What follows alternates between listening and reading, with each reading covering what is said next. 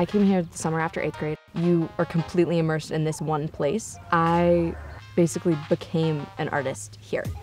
It changed the way I am as an artist. I'm a more creative and a more like individual person. I'm way more like self-sufficient in my art and honestly as a human being.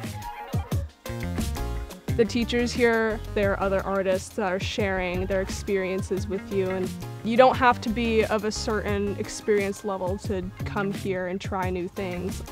This is for people who have either been doing stuff like this for years or have just started doing it or have never done anything like it before and want to try something completely new.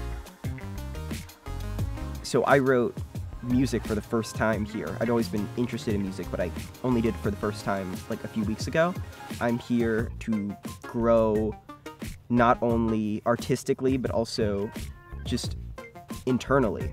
I was pretty nervous getting up there and performing a song, but it was definitely the environment where I would, I would want to be doing that and where I would want to be taking those risks. Everyone is from a different place, a different part in life, different age ranges, different cultures, and I think that's like one of my biggest inspirations when it comes to making my artwork, meeting new people and being inspired.